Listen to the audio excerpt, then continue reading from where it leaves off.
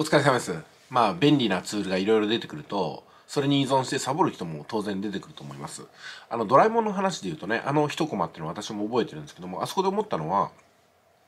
あの便利になってね人が動かなくなって全部機械でやるっていう風な人が大多数でその仕組みを作って相変わらず体も頭も使ってもっともっと便利なものを今の便利なテクノロジーの上に積み上げていこうとするねそういったクリエイターっていうのがね常にいるんだろうなっていうところなんですよ。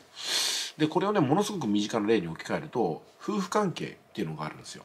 どうやってつながるんやって思うんでしょ。でも夫婦関係の中でお父さんは稼いでお金を持ってきます。仕事でどんなトラブルがあっても解決してお金に変えてきます。まあそれが基本的な稼ぎ方です。でも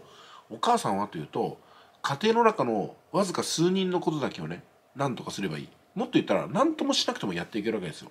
洗濯をサボっても掃除をサボっても食事を作らなくても何とかやっていける最終的な手段っていうのはお父さんがお金で解決するからなんですよそうなった時にねじゃあある時40代50代もしくは60代で、まあ、離婚みたいな話があると圧倒的に困るのはいつも女性だっていう図式がここにできるんですよね。まあ、ですんで本当にね夫婦といえどもどんな人間関係といえども便利で楽だな、まあ、専業主婦でよかったなじゃなくってやばいと思わないといけないですよね。自分が鍛えられる場所自立する場所をこれは脅かされてるなと。確かに今日は楽だけどもこの楽っていうものの土台がなくなると途端にやばいことになるなっていうふうにテクノロジーですとか状況にね乗るんじゃなくって乗せられてるなっていうふうにいつも思っていくことじゃないかなと思うんですよ。まあ、つまり脱依存ですよね。えもちろんお互い様とかね持ちつ持たれつっていうのはあってもいいんですよ。でも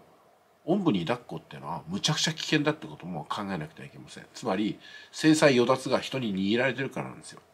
じゃあ今テクノロジーの時代です。私もゾッとするのは電気が止まりました復旧のめどが立ちません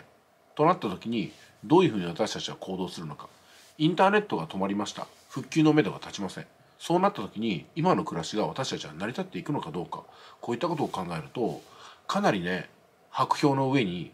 足を乗せてるような状況ってことが分かってくるんではないかなと思いますだから今の状況が全部ご破産になっても大丈夫なようにまずは体を鍛えていくこと頭を鍛えていくこと衣食住に対して自分自身で責任を持つことっていうのが私はいつもね意識していることかなと思いますよね。便利になったとて所詮それは自分の力で便利になったわけじゃなくて補助的なツールのおかげで便利になっただけであって自分の本質は何ら変わってないということに目を向けるべきかなと思っています。それでは